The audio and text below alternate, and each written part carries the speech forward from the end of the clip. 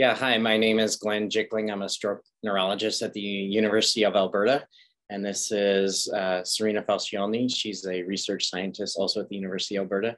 We have the pleasure today to be able to discuss uh, a paper that's come, come out in neurology on uh, endoluminal biopsy for molecular profiling of human brain vascular malformations. And, and we both thought it was quite interesting. It's a novel technique to be able to uh, sample brain cells um, brain endothelial cells using an endovascular catheter. And it has a number of implications in terms of precision medicine, being able to access uh, close to brain cells. It, it's always been desirable to get brain tissue, but um, in terms of studying human brain um, disease, but uh, it's been quite, it's an invasive procedure. And so this is close to the next best thing. It's uh, sampling endothelial cells from the luminal side of the vessel. So Sarina, I don't know if you want to maybe share a little bit about what, what they did. Mm-hmm. Yeah, so um, like you mentioned, uh, it's a interesting study where they were able to actually retrieve endothelial cells from um, the uh, endovascular biopsy that they did uh, in AVMs in the brain. Um, and so I can share uh, one of the figures that they had from their paper here. Um, let me just make this full screen. Um, yeah, so as you can see, they were able to sample endothelial cells at, uh, they did this at two sites. And so they did it in the iliac artery and then in the brain AVM. And so they went in with a catheter um, and, and went in uh, the groin and then up into the AVM, into one of the leading arteries um, of the AVM and uh, inserted a coil through the through the catheter. And as you can see in the, the third kind of frame here, they were able to uh, collect endothelial cells by leaving this uh, coil in place for about a minute and then uh, retrieving the coil back um, and then collecting the cells that that uh, were attached to, to the coil.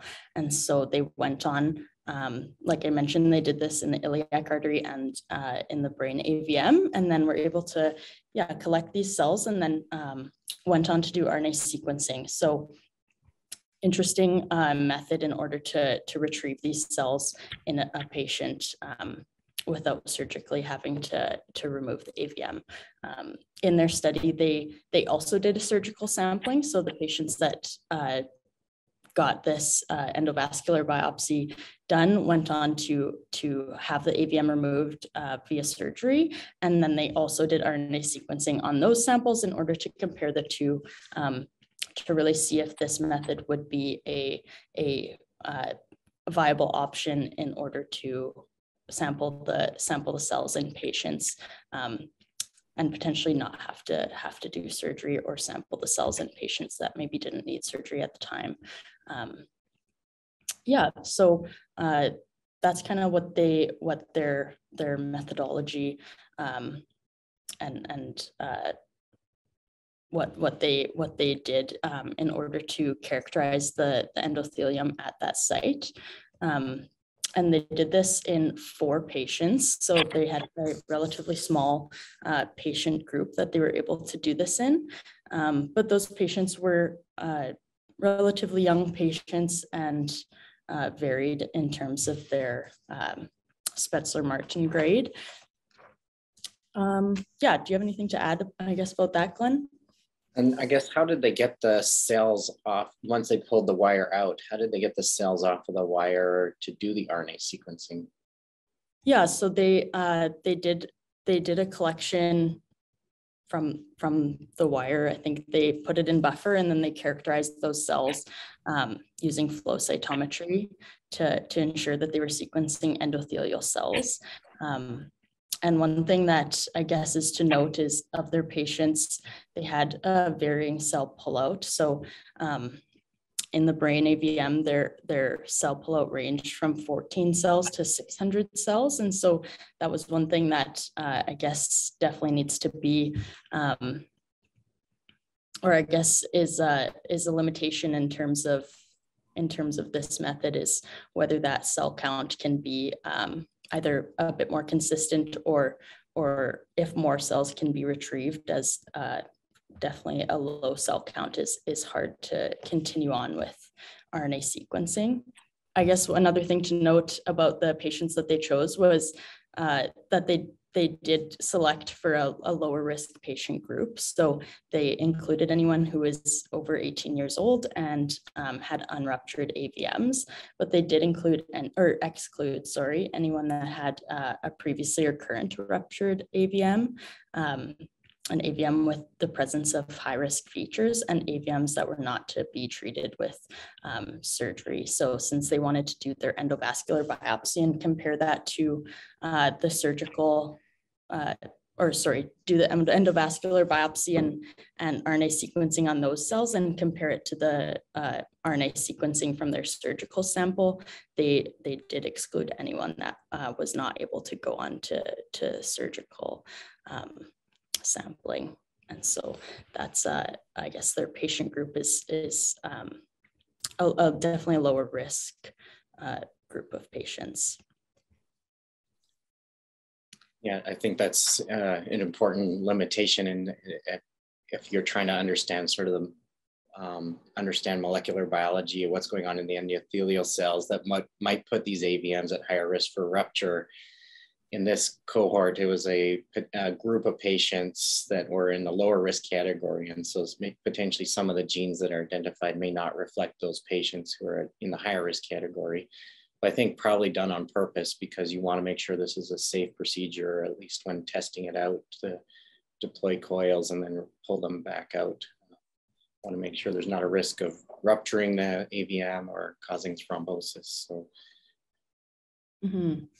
Yeah, I think it also uh, begs a question of whether this could be used in a higher risk patient um, or, or to determine, I guess, who the higher risk patients uh, might be before uh, AVM rupture, but um, definitely something that uh, I guess could be looked into more in the future.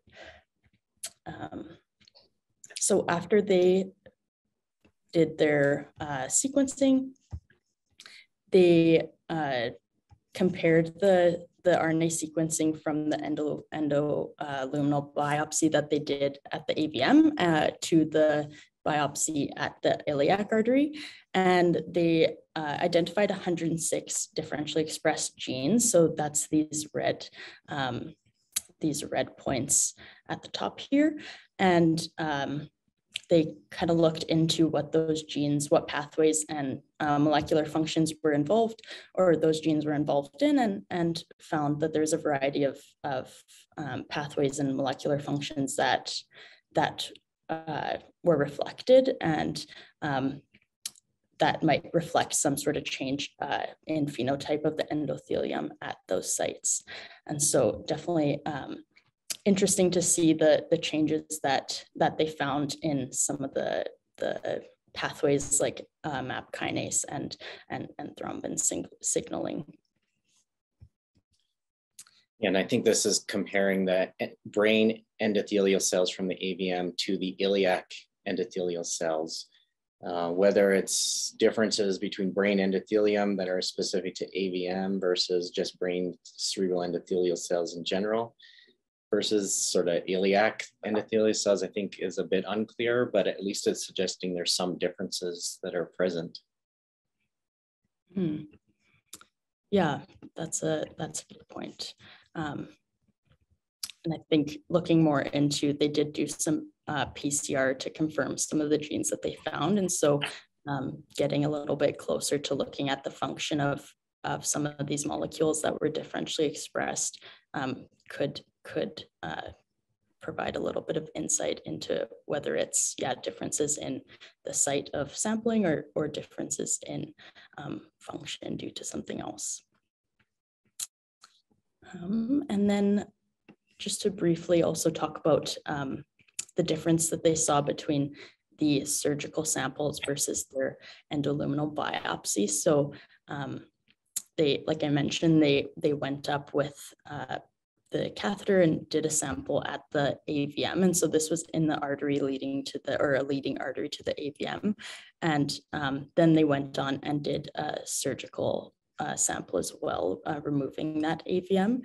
And so they found uh, that about 83%, um, so approximately 6,000 of the genes between uh, the surgical sample, sample and the biopsied sample were um, were the same, or they found overlap of, of, of 6,000 genes. And so in this uh, middle graph here, they show a good correlation between this endovascular biopsy uh, cells and the surgical cells. And so um, just suggesting that this might be a, a yeah, a different way to get a measurement of the, the endothelium or a, a, a describing the endothelium without having to do that surgical um, procedure. And so uh, that's uh, definitely interesting um, finding. And then uh, they also did uh, a sample of the just in the surgical tissue, they looked at the RNA sequencing from the leading artery. So this is where they would have done the endoluminal biopsy and then um, a nidal sample and found that there was also good correlation. So uh, potentially this could could replace the need for a surgical sampling in in certain patients um, or suggestion that at least they're they're quite similar in terms of the RNA that were the cells were expressing. Uh, I think it's a it's an interesting strategy to try to at least get some more information about what's going on in the human brain and and these AVMs, um, and and and kind of a cool technique to be able to feed a catheter up and, and pull some endothelial cells. I think it's important to highlight that it's probably not, not a zero risk procedure. And so at the moment, you probably want some rationale to go up and pull some of the endothelial cells out. I think there's, uh, there's a risk of either is causing ischemic stroke or, or perforation hemorrhagic stroke in doing this procedure. And so to say you're going to go in and do this procedure just to get a sample, I think is at the moment a bit unclear. Um, but it, it, does seem to provide some interesting information. Um. And maybe by understanding sort of the relationship of endothelial gene expression in humans, you can get some better insight into these AVMs and what might predis- be predisposing to rupture risk and, and, and maybe developing novel treatments targeting that. Mm-hmm. Yeah, I think that's definitely um, kind of the, the the novel part of their study is is uh, what you're mentioning. I think for sure, uh, looking into bigger patient group and uh, I guess just different patients um, would definitely provide some provide some better insight into that. Uh, whether it would be something that would be feasible in in a clinical setting, and I think just uh, getting to I guess, refining the technique to find out whether or not more cells can be retrieved or if there's a different way to, to use those cells if only minimal amounts can be retrieved could also be um, somewhere to go moving forward. Yeah, yeah, I agree. I think it's, I mean, it's an interesting finding even that when you pull the catheter out, you're able to acquire some cells and these cells have some features that look like endothelial cells. That's, I think, even a novel finding. It's unfortunate there's only 200 or two to 300 cells. That's a, a small volume of cells to work with for RNA sequencing. It, it, leads to very low, low uh, volumes of RNA or low concentration of RNA, which is hard to work with because the current detection, like with using nanodrop or um, bioanalyzer, it's below the that concentration of RNA from 200 cells would be below the concentration. So you're kind of going in sequencing blind in this ultra low RNA world. Um, but so yeah, I agree with you. If there's ways to enhance how much cells can be extracted, that might help. Mm-hmm. Yeah, I think um, also looking a little bit more into what the functional outcome of that uh, or I guess uh, looking beyond RNA sequencing to just to confirm the actual functional changes of the endothelium could also be helpful and, and could provide um, more information and, and potentially remove the need for RNA sequencing in all of in all of the patients that they would collect data yeah. from. Yeah, I think like other strategies to look at these cells, like single cell sequencing, um, is there, what is the heterogeneity of the cells they acquired? I know they, I think they looked at this marker CD31, which um, correct me if I'm wrong, but I think it's also in other cell types, not just endothelial cells. Mm-hmm. Yeah, I think the the characterization of endothelial cells and and confirming that they're just looking at endothelium could could be um, yeah definitely I think a better marker could be could be chosen because uh, even in the figure that they provided there are going to be white blood cells and and other cells that are potentially attached to that catheter that also express um, CD31. So I think just due to the to the amount of cells they were able to retrieve, it's um it's a start, but definitely could be could be more uh, or I guess cells could be characterized a little bit more extensively to to confirm to confirm endothelial changes. I guess another question that I had was, are these endothelial cells that are adhering or attaching to the catheter, are they representative of the endothelial cells that are in brain, or are these maybe cells that might be damaged or, or potentially dying that are able to detach from the vessel wall? I think that's a little bit unclear. It seemed like they had a similar gene expression pattern to the cells from the surgical brain tissue. Uh, so that might support they are, they're close to the same cell type that were that are in the vessel wall. Mm-hmm. Further characterizing will help sort of better understand what these cells are that are being attached to the wire. Mm-hmm. Yeah, I think that's definitely a good point, and uh, definitely potentially doing single cell or uh, uh, an additional um, analysis of the cells could could be able to tease that apart a little bit more yeah, potentially other flow cytometry markers of endothelial cell features. Mm-hmm. Hard, hard to work with just 200 cells. And I think getting them from the catheter suite to the lab is a challenge, especially keeping them alive and, and healthy enough to be able to stain and do the sequencing. So uh, an impressive feat on its own.